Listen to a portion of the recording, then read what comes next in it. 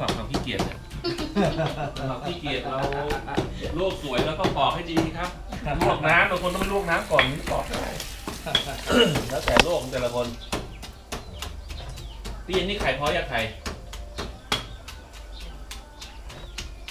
พอละก้าพี่เย็นเอาไปนี่คือไข่ต้ม ไม่ไปใส่ยำไปใส่ต้มอ่า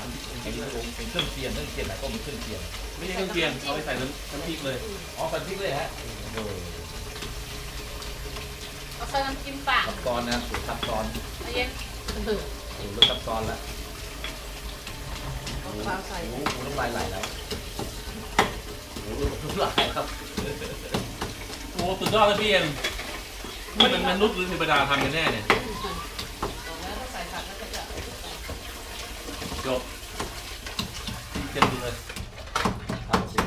ต้มกับน้ำหัวพริกก็เขาหัวใส่ยานเดี๋ยวติดเดี๋ยวก็แต่มะนาวไปตำเขาแหลกหรือว่าตำไม่แหลกเลย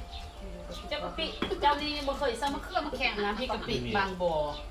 อ๋อนี่คือน้ำน้ำพริกะปิบางบ่อแต่ถ้าอันพี่กะปิอะไร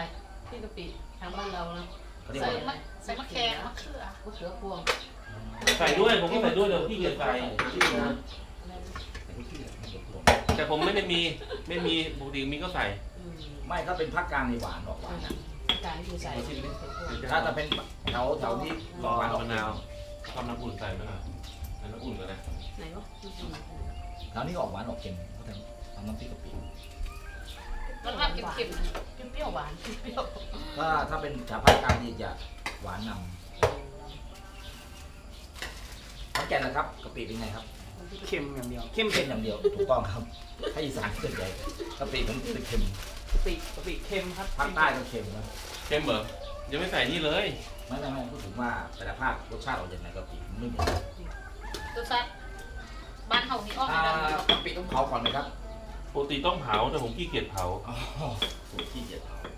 ก้านนี่ผมก็ไม่เด็ดนะบางครั้งก้านเนี่ยมันอร่อยนะ ก้านเนี่ยกินแล้วมันก็มันจิ้มฟันให้เราได้ ได้ประโยชน์นะครับอืมจริงๆนี่ไม่ต้องใช้ ใช้สูตรฮอตเซียเลยครับ เอาการแค่ชี้ฟันได้ เดี๋ยวให้พี่เย็นใส่นี่ลงไปในต้มเลยนะพอดีเลย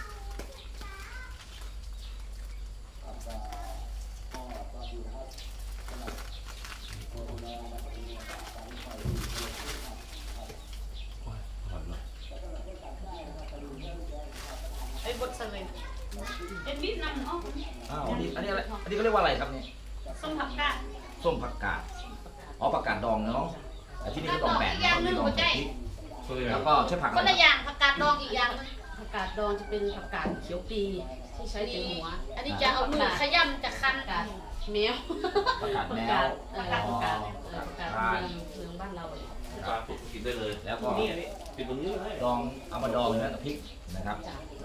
อะไม่ใช่ไม่ใช่ในไอ้นี่เครื่องเก็บปรุผักงแล้วที่ที่ที่มีขิงกระเทียมพริกแล้วถ้าแบบที่ที่ที่ทำนี่เลี้ยงเฮียเลยนะเฮีย